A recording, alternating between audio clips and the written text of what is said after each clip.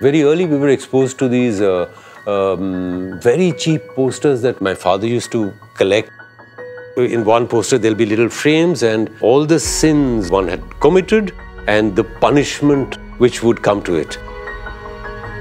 So that is a kind of a uh, the local reading of uh, Boitorini.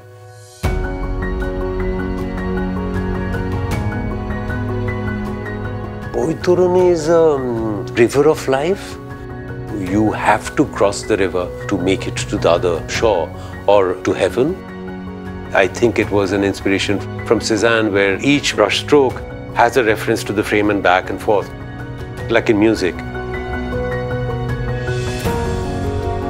Wonderful grays, wonderful uh, muted, extremely controlled uh, color palette with little vibrant notes here and there, like little uh, spots of energies uh, poking out of the, those, those silent uh, movements.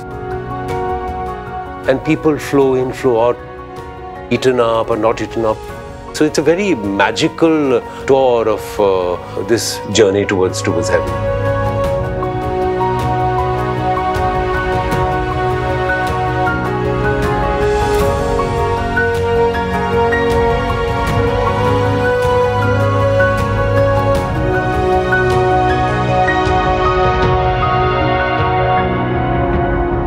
His exhibitions are kind of always done in a uh, in a series. When you see the whole thing, it's like a movement from canvas to canvas.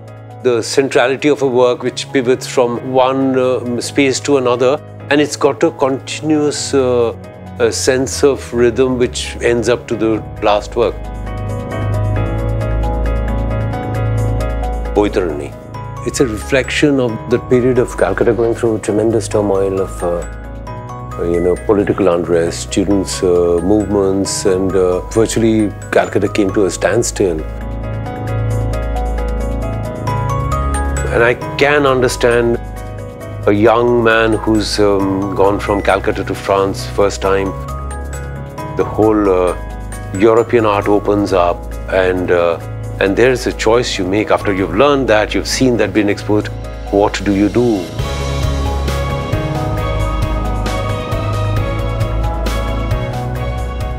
Um, Babu chooses a kind of work which has a huge reference in, in history, whether in Christian art or in uh, our Hindu tradition.